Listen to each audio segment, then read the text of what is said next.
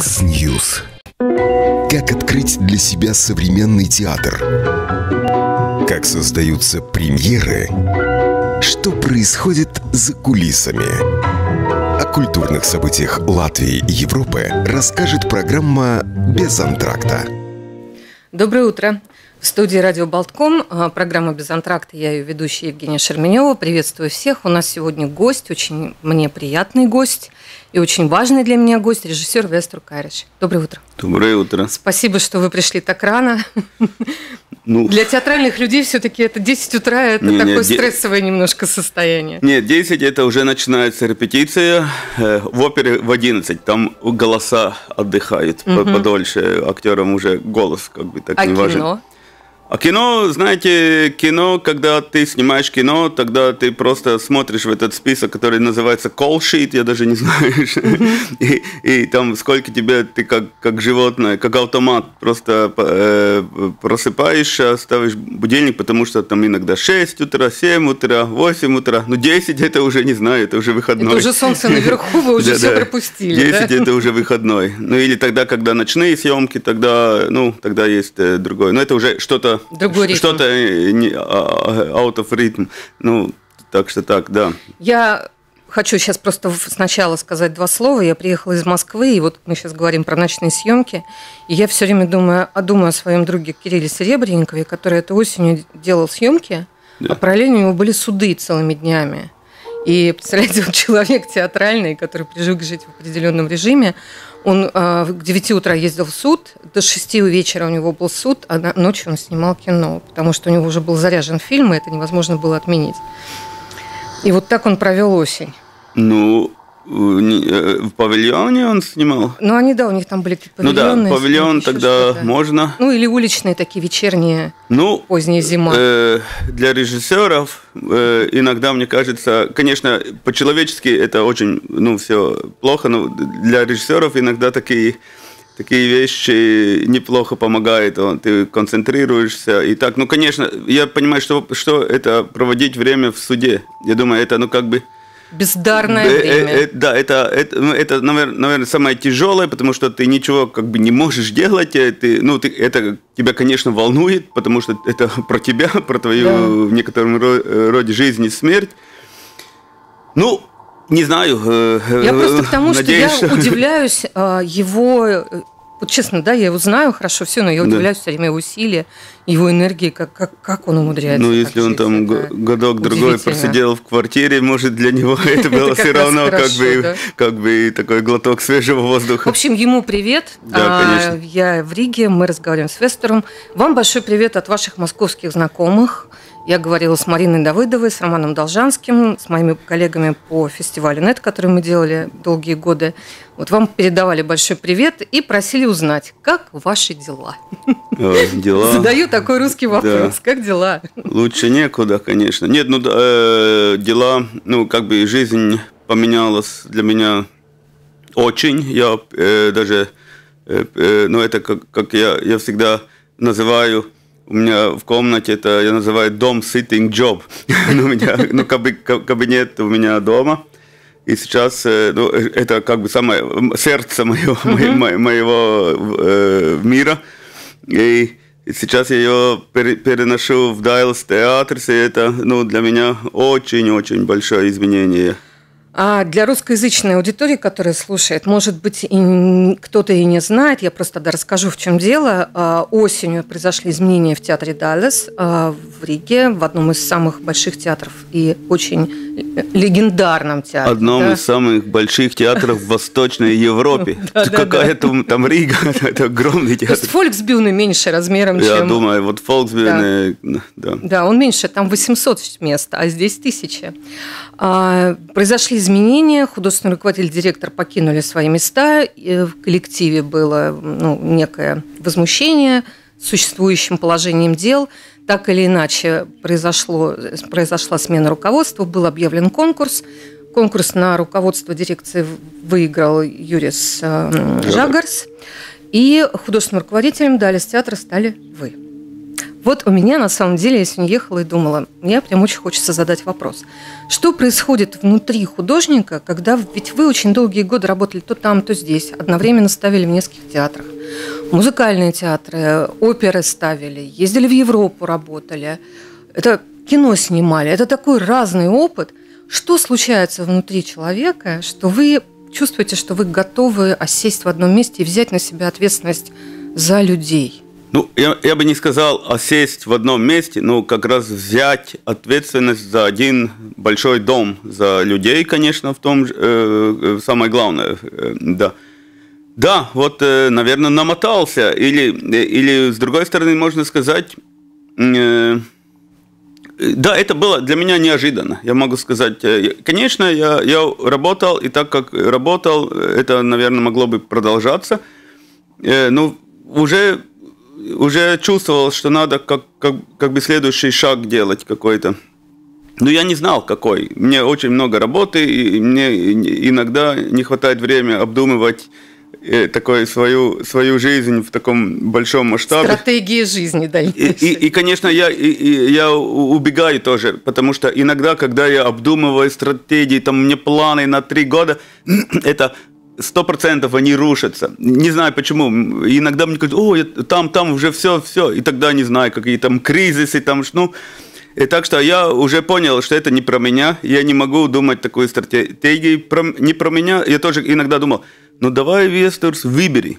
Опера, театр, кино. Ну давай, определись. Uh-huh.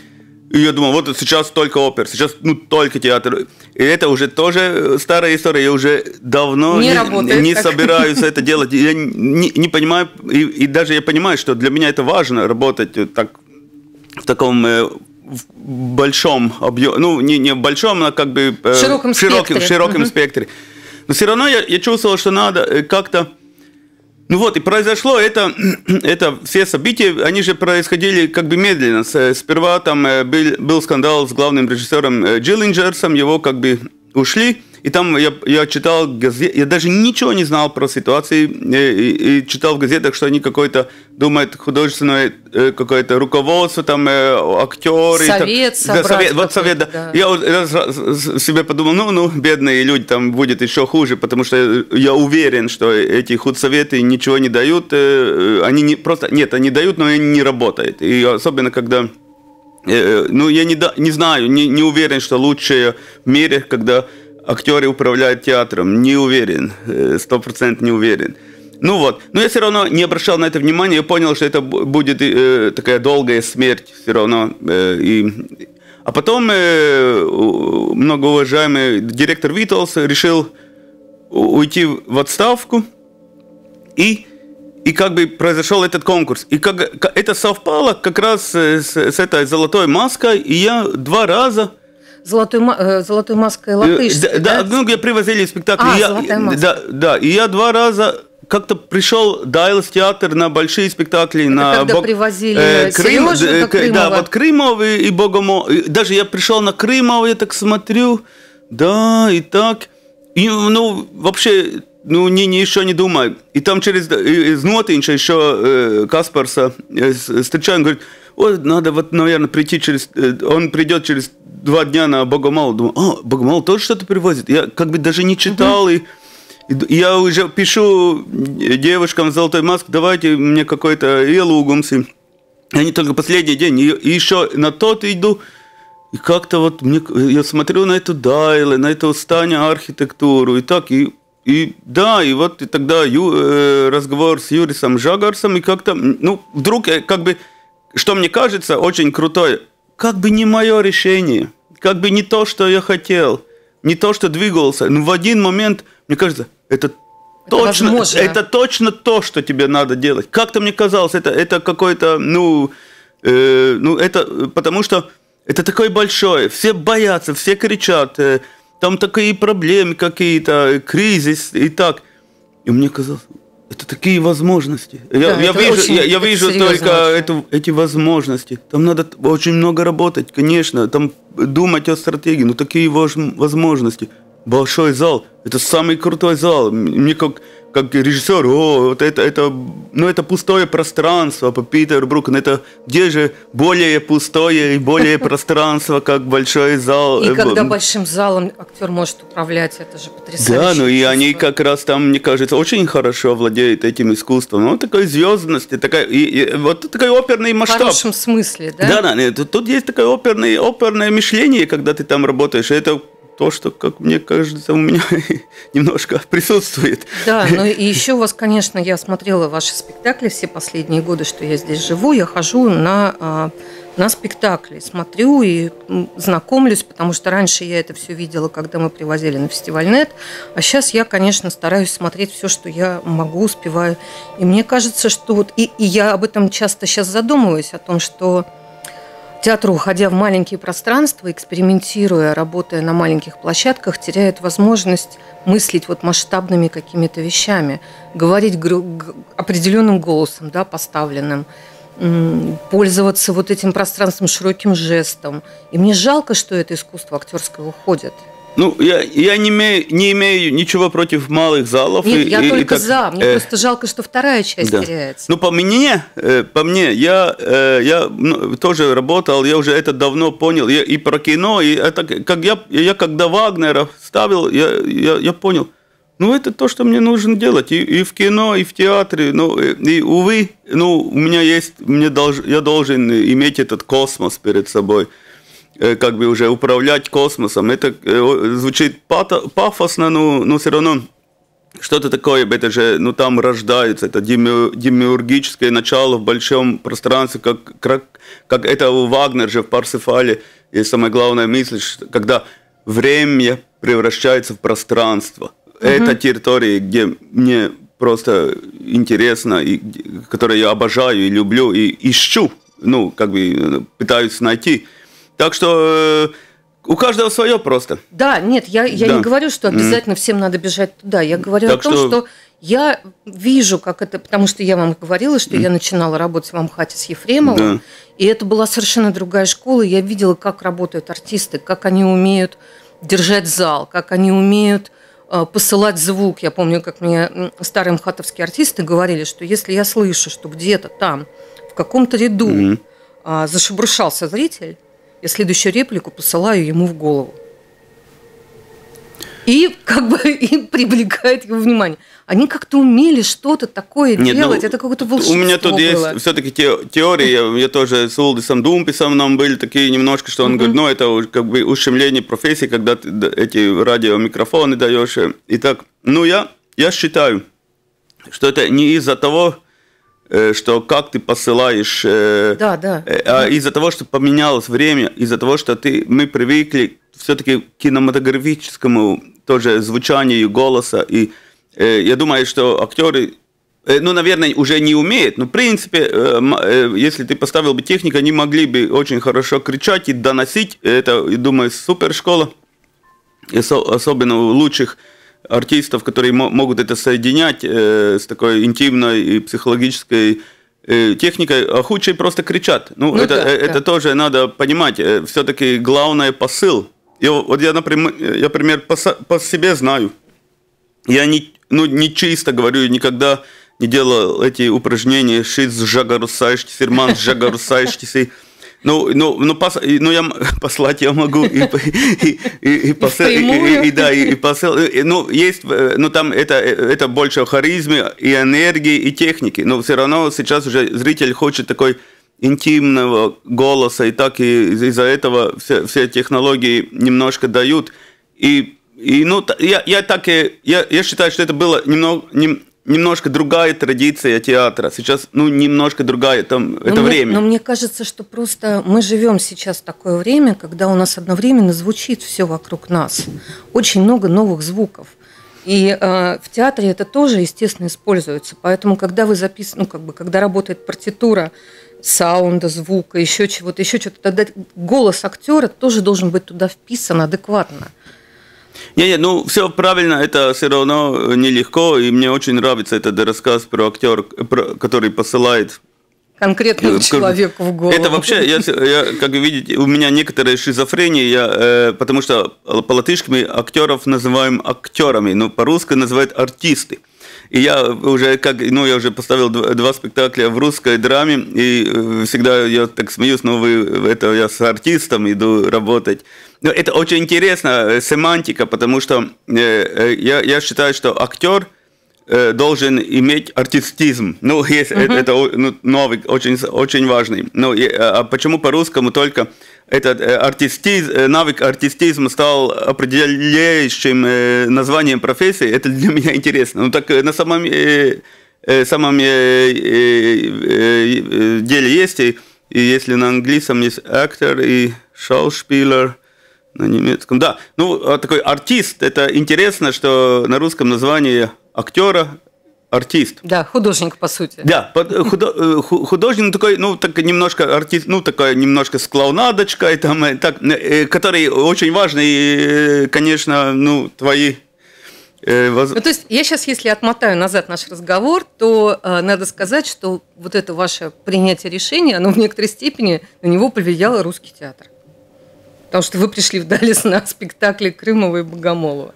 Э, Какое-то совпадение э, такое интересное Нет, ну я просто, э, мне оба спектакля, ну, я так, ну, всегда в таком, ну, ну, не критическом, но в дискуссионном с, с режиссерами всегда, ну, ну, оба были, ну, сильные, сильные спектакли, и все работало.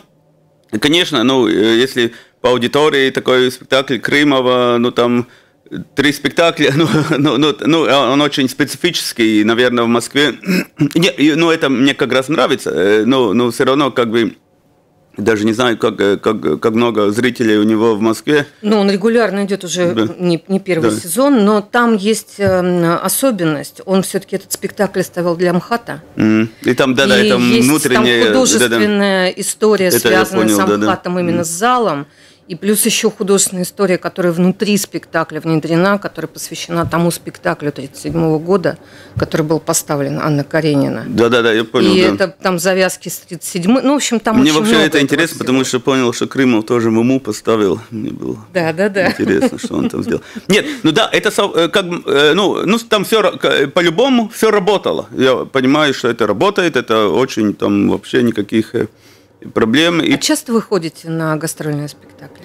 Не часто. Я вообще, э, э, можно сказать, я могу э, про частности, я могу сказать так. В Риге такой странный город. У нас мы немножко такая, как, как провинция, какая-то российская провинция где-то за Уралом. Потому что у нас полно российских спектаклей, часто коммерческих. Очень хорошо, что приводит, приводит тоже то, что мы называем искусство. Ну, например, Золотая, Золотая маска ездит каждый год, а, а Берлинер Трефен или Винер Фествохен э, вообще не приезжает. Если у нас было, если мы э, э, могли это назвать гастрольными, тогда я бы шел чаще, но так у нас гастрольный только российский коммерческий театр. По, по, да, по большому, который угу. я не хожу, извините. Э, не, ну это э, понятно. И, ну, Зачем художнику ходить? И, иногда, и мне казалось, что э, тоже я, я как бы я не был уверен, что мне, ну я очень, ну, ну вырос на западный театр, я, ну немецко, французский, не, ну французский, ну немецко говорящая как бы среда, это меня, и, и то, что она всасывала в театральное, это Э, было для меня очень важно. Не, ну, то, тоже восточноевропейское, ну, ну, ну, российское, мне казалось, мне казалось, уж уходит такой, такой коммерческий, такой кич очень. Ну, мне казалось, э, там была волна Виктюка, тут, э, ну, в Риге одно время. Да, всем. да, да. Ну, я как бы не мог, э, там, э, мне казалось, это, ну, такой коммерческий кич, э, там, ну, ну, такие тонко волнующие темы и все. И мне казалось, что немножко, немножко я не чувствую такого ау- аутентизма театра. Угу. Ау- э, ну, ну, когда был, не знаю, Анатолий Васильев, Эфрос или тот же Ефрем, ну, там был какой... Ты, ты, тебе мог это нравиться или не нравиться, ну, там был, ну, ну, как в театре, как в искусстве. Собственный почерк ну, как, да, и... Какой, новый... голос, угу. свой голос, такой ау- аутентичность. Ну, мне кажется, наверное, сейчас уже меняется э, это время. Ну, э, единственный, кто мне поистине нравился, это Дмитрий, Дмитрий Черняков. Мне, мне казался, э, и особенно когда-то, я уже пару лет ничего не видел, но там немножко тоже э, там э, эти метрополитен, все продакшены немножко ушли в небо, или в молоко, или в маковое поле. У него премьера на днях в Большом театре да, да, но он, вот, он мне казался, э, э, э, вот я пытался смотреть его, но это, конечно, он, ну, в России тоже что-то, я, я, на видео видел, ну, в принципе, ну, как, как мне казалось, это, это, вот это режиссер имеет какой-то очень важный какой-то взгляд или неважный, но он, он интересный. Угу. Так что я желаю ему э, успехов и, и, и в дальнейшем. Да, ну так, так мне, но сейчас я вот мне как бы просто интер, меня интересует театр. И я думал, ну, Дмитрия, Дмитрия Крымова я никогда не видел. И мне очень многие рассказывали. И я, э, вот, я увидел, я ну, хочу, хочу еще посмотреть. Угу. Богомолова я что-то видел. В Лиепае то, что он делал. Вот как раз это не видел, но я что-то в России видел, и там, и даже он был в жюри, когда я был в этом э, э у Манского. Артдокфест. Артдокфесте, он даже мне там какое-то приглашение дал, я посмотрел, попросил я у него, ну, интерес, ну интересно, ну, ну, ну, это было интереснее, что я видел э, в Дайлес. Ну вот у меня любимый его спектакль это «Братья Карамазовы», да, он так, который вот сейчас сыграли вчера в очередной раз в МХАТе. Да, да. И он тоже уже давно идет. Ну, так что я просто, ну, понимаете, вот ну, всякие волны, ну, я тоже не могу сказать, что я очень интересую, э, очень мне кто-то очень важный работает, э, ну, не знаю, в германской. Угу. Ну, ну, там тоже, ну, там тоже все меняется. Все меняется, да. и там... И, То, и... что мы с вами сейчас вспоминали Фольксбюна начала 2000-х, ну, да, да? К тому же я... А, а сейчас там ничего не происходит. Нет, Фольксбюна, там, я когда там... уже в Берлине, Фольксбюна уже... Когда-то это был первый выбор, я всегда смотрел, что там, что там. Сейчас это, я, ну, я уже не помню, когда был. Ну, нет, это меняется, все супер, ну, как... Не, не... Ну, туда сейчас Рене Полиш приходит со следующего года. Ну, я Ренем Пол еще очень много тоже смотрел. Ну, это, это больше все-таки драматургия и, и, и так Ну, да, это да. хоть какой-то да. выбор, потому mm. что, конечно, после вот этого а, какого-то обвала, который случился, и а, периоды такого непонятного, который ну, да, сейчас да. продолжается, Конечно, все берлинцы очень переживают за Фольксбюна, это легендарный театр. Ну, это, да, да. Да, и в нем, э, конечно, все ожидают какой-то новой жизни. Ну, посмотрим, что будет. Не, не, ну, то, а что... Шаубюна любите? Э, ну, Шаубюна там, ну, интересный режиссер, и, ну, даже Кейти Митчелл там работает, как бы в Берлине можно смотреть. Ну, там, э, ну, э, ну, Шаубюна, наверное, там, ну, там из-за того, что из-за политики приглашения режиссеров, наверное, угу. я, я бы не сказал, что там Остермайер еще работает, да? Да. Да, да. Но я не сказал бы, что я на Остермайера там, ну, что это, это самый, ну, то его политика приглашения э, режиссеров иногда, мне кажется. Ну, вот я посмотрела сейчас перед Новым годом, ездила, я посмотрела Ричарда Третьего, которого пропустила.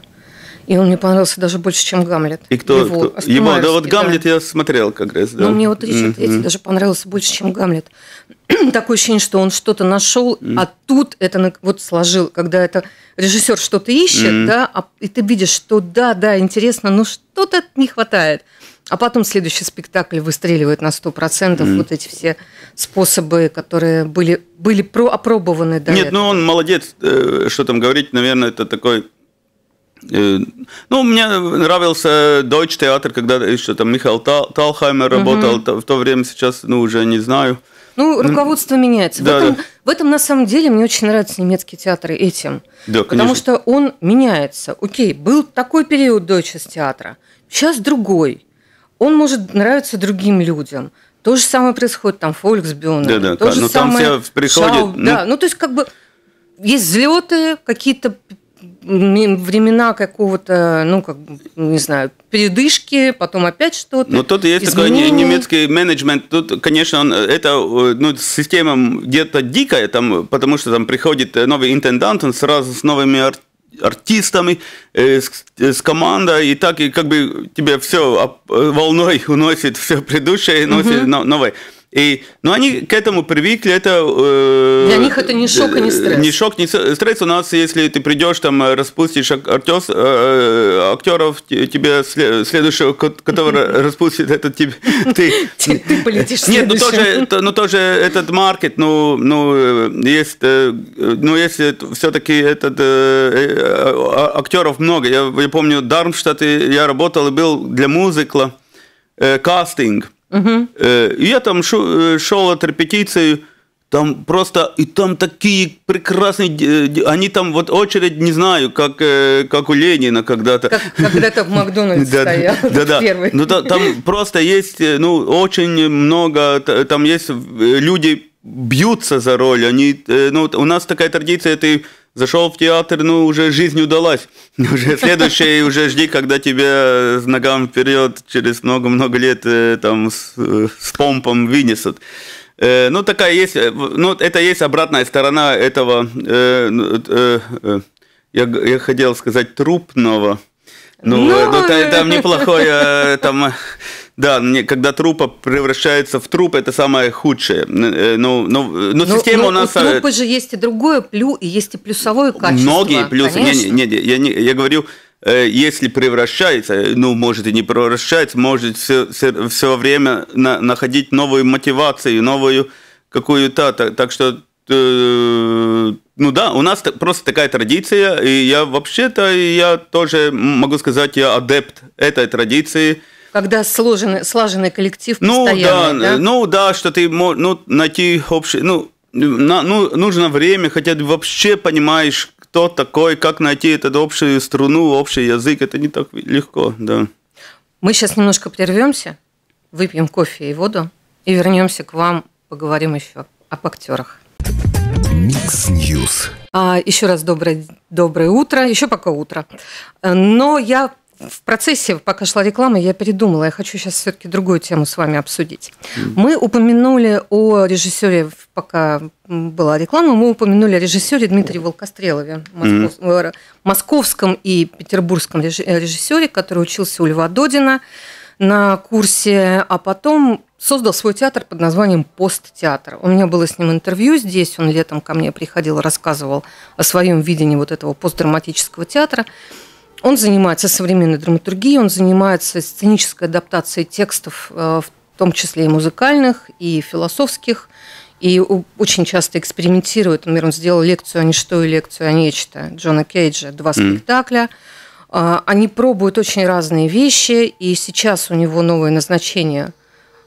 Вы только что назначили директором, художественным руководителем центра Мирхольда. Mm-hmm. И я тоже его спрашивала, как для тебя, Дима, вот после того, как ты выбирал совершенно другое существование в театре.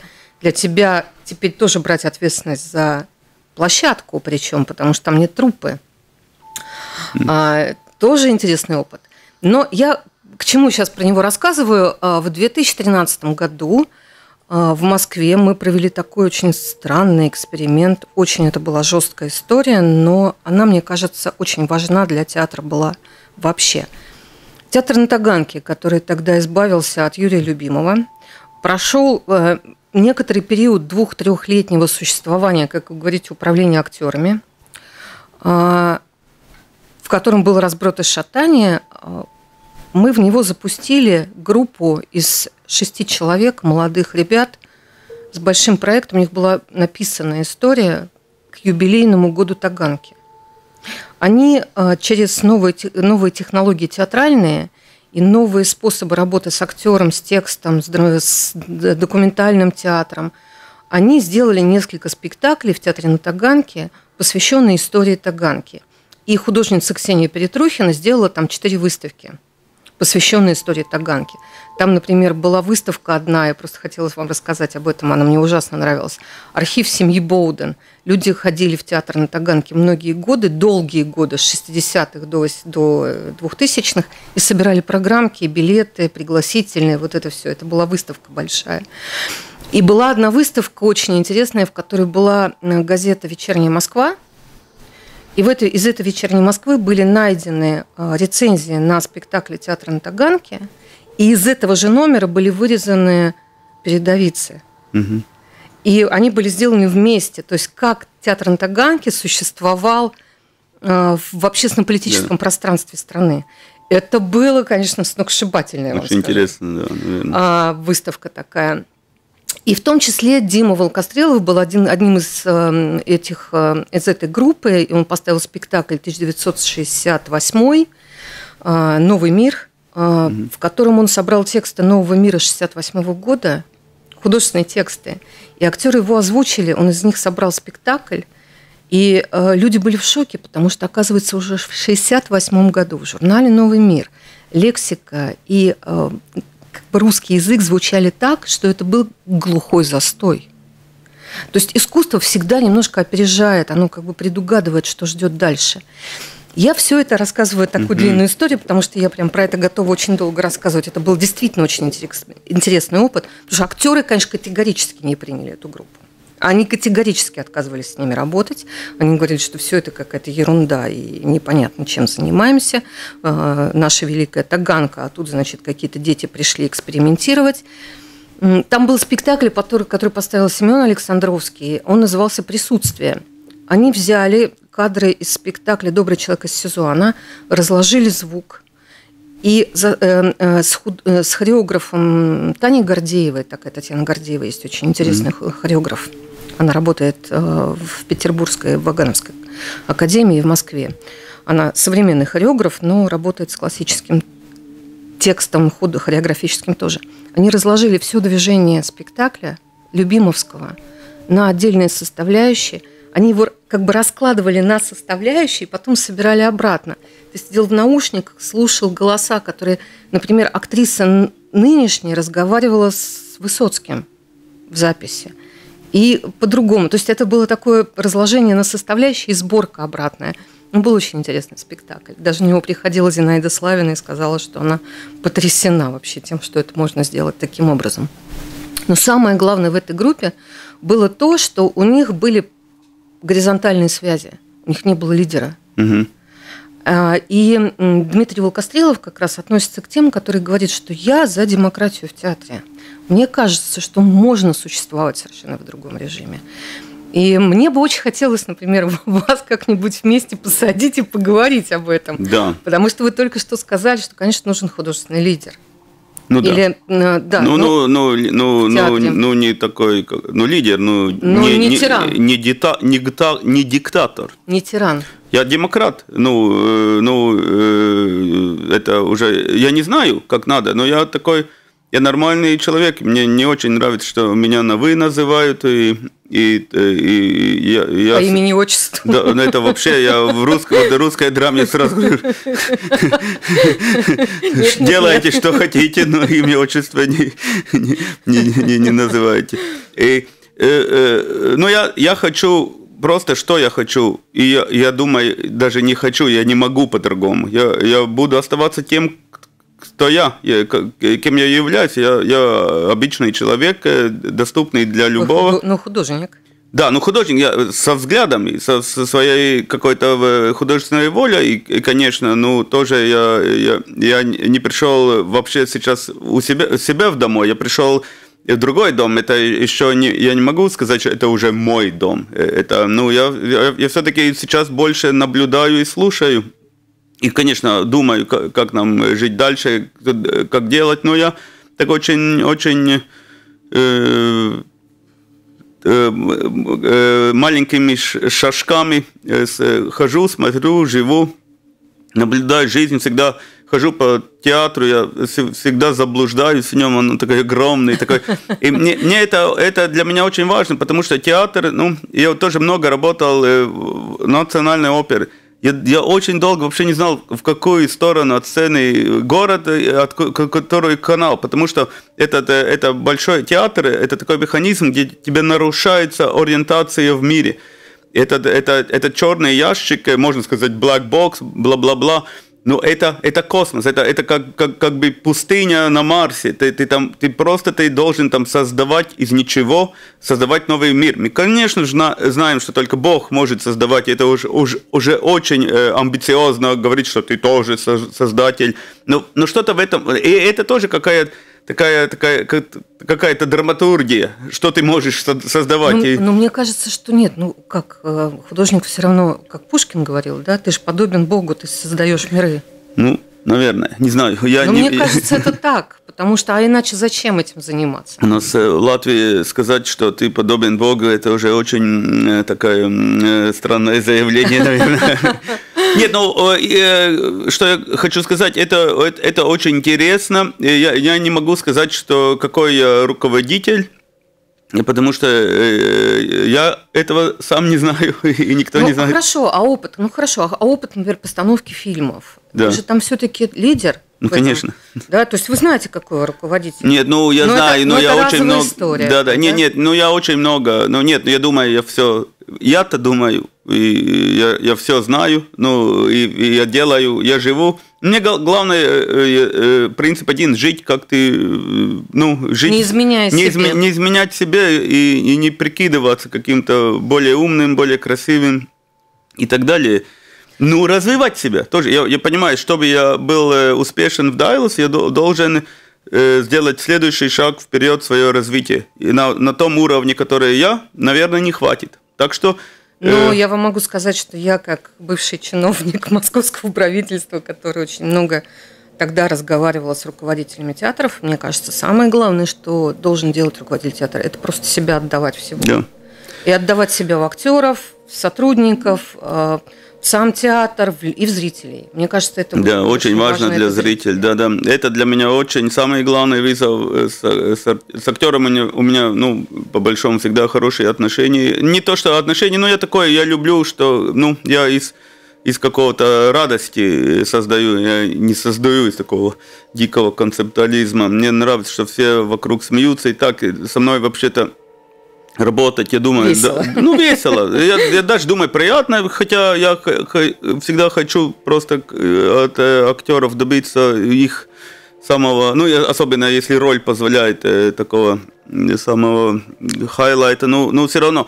Э, ну, зритель, я, э, ну, понимаете, можно всяк, я, я, я вот шел очень много сейчас, и я выходил на, на, на идею продался, я шел во все спектакли.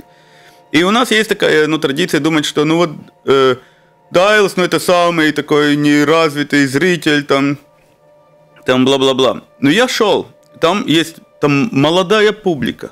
Она, а, ее много. Я, Она я- мне- откры- Мне было очень хорошее ощущение. И если я вот буду думать, что это, ну что это такое, это, это peoples, это, это, это вот э, народ, который вот идет, мне приносит деньги, и, и так э, масса, тогда я, наверное, ничего не добьюсь. Но я вижу в них людей. Ну, в кажд- по, по, по, по, ну, как если я разделяю их по одному, это каждый Каждая человек. личность. Каждый человек, с ним, наверное, можно поговорить, не знаю, о, о его работе, о, о- о тракторе, который у него не работает или что. Ну, и я так, я, я тоже, я люблю в Латгале много жить, я всегда разговариваю с людьми, это мне очень, э, ну, дар- дарит много эмоций. И так что я, я, я считаю, работа с публикой очень важна, но ты должен ее ценить, Да, ты, ты не да. должен ее э, думать, что это только это те, которые приносят тебе бабло, они приходят, я им еще дам там э, что-то, еще будут больше приходить.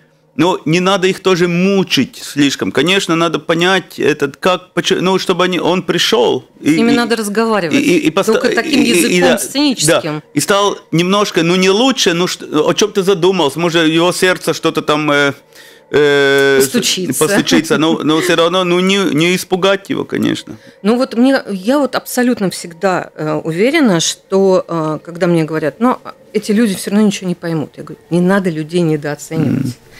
Люди понимают очень многое. Зрители, которые приходят в театр, они уже молодцы в том, Нет. что они купили билет и пошли смотреть. Знаете, который А. самый коммерческий э, композитор Европы? Арво Перт, эстонец. Вот я тоже уверена, Да. что людям интересно, когда с ними говорят на умном, хорошем И универсальным. языке, да. Людям интересно, когда их тянут куда-то, чего они еще не знают, но, может быть, какими-то вещами, которые им, им ну, как бы внешне узнаваемые. но э, внутренне для них это новое открытие должны быть всегда. Нельзя людям все время давать жвачку, э, зрителям нельзя давать жвачку. Их надо увлекать да. и делать своими сотворцами. Это же ужасно интересно, как это ужасно зрители интересно собирают и... тоже и спектакли. Ну, это вызов.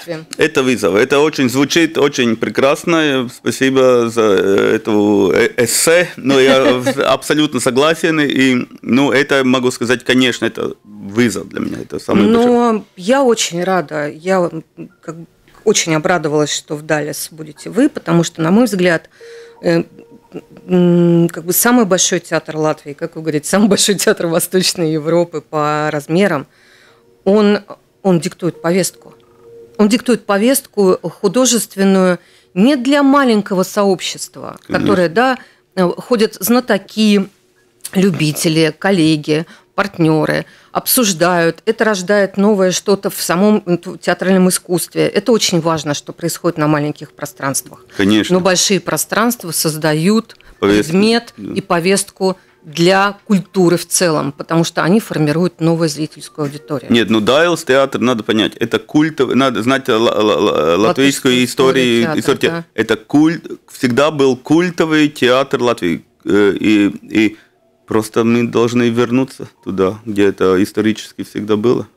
Все, ну, все очень легко. Все в ваших руках. Ну, нет, ну, нет, ну на самом деле, И конечно... с вашими коллегами, я имею в виду, что в ваших руках, но с вашими коллегами. Да. Вы театр это искусство коллективное, ни, ни один человек ничего не сделает. И я могу сразу сказать, что я тоже не, не хочу там э, собирать трупы своих э, единомышленников или делать в трупу в трупе. Я, я много смотрел, я хочу работать э, с, те, с теми э, артистами, э, которые там, я хочу с ними работать, с, ни, с Для них, них придумать что-то их развивать да? и так. И, и, конечно, трупа всегда должна немножко от снизу тоже, ну, но, но, но мой, мой, мой, моя цель с ними работать.